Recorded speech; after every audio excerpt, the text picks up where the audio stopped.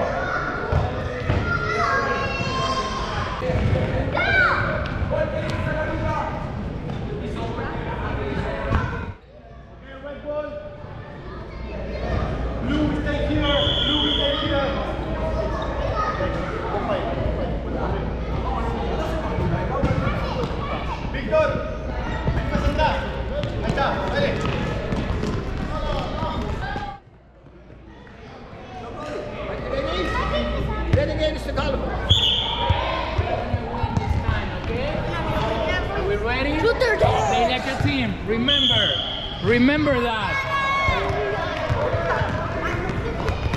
Playing like a team means playing with each other. Pass the ball. The balls up. Make sure those patterns.